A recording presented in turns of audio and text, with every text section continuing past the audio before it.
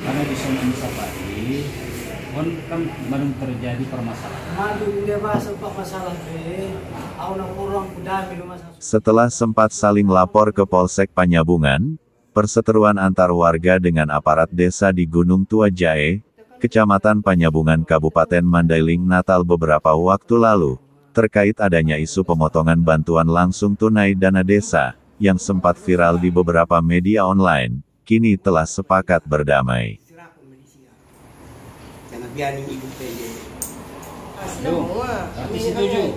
Cuma untuk melakukan depan itu nanti di Aduh, kalau menurut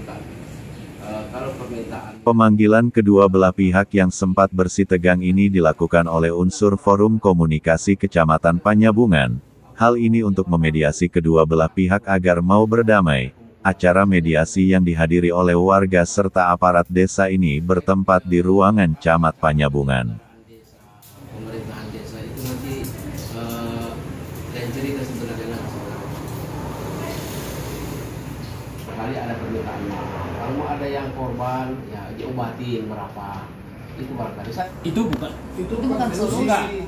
itu bukan solusi dari bukan kewenangan dari Pak Suami dari Pak ini Pak nanti itu berikutnya. Untuk penjelasan masalah itu. karena berbeda-beda Pak Mulo. Ini kan Bapak Nani kampung.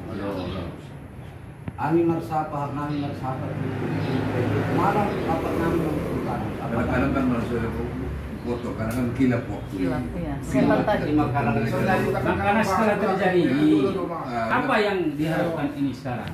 kalau memang harus minta maaf bapak ini ya bagaimana nanti? Apakah memang bisa solusi? Bagaimana cara minta maafnya kita berdua Kan baru terjadi permasalahan. Madu dia bahasa pak masalah be, aku nak kurang kudami rumah saya sunjia dan sunjia itu tenang aku nak mengurut.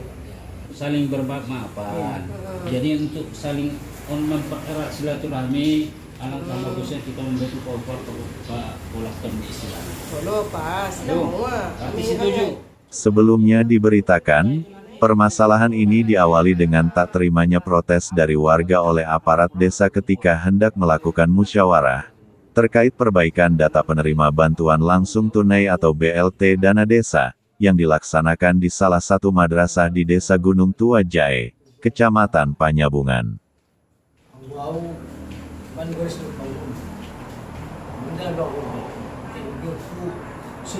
Akibatnya, dua warga yang sempat dikabarkan menjadi korban dari pemukulan oleh oknum BPD setempat yang berinisial AR dan MR, kemudian membuat laporan ke Polsek Panyabungan karena mengalami luka pada bibir bagian bawah, dan satu lagi korban mengaku sakit pada leher akibat dari cekikan oknum tersebut.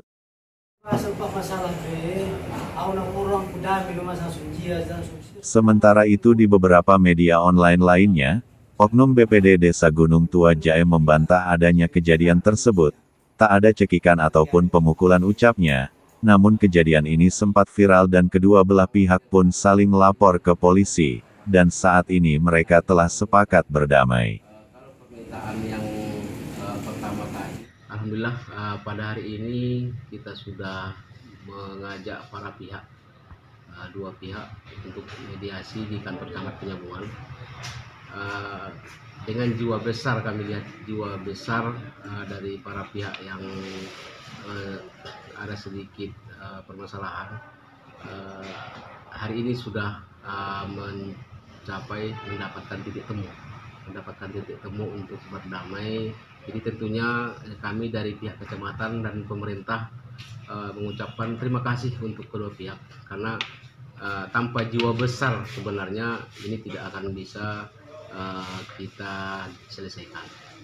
Tapi hari ini setelah di kita mediasi di sini bersama unsur Forkopimcam bersama Pak Kapolsek eh, selesai alhamdulillah selesai semua.